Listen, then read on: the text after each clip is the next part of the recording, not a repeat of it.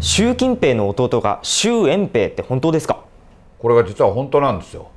お兄ちゃんが近くて弟が遠いってどういうこっちゃ？そもそも逆じゃないかと思うんですけど実際に習中君っていう元の副総理がいらっしゃってそのお子さんが3人いて男の子は2人でお兄ちゃんが習近平国家主席で習遠平さんも3つ違いで今中国の環境保護関連、まあ、中国にとってはこれビジネスなのでそこの養殖についておられます。青山茂春チャンネル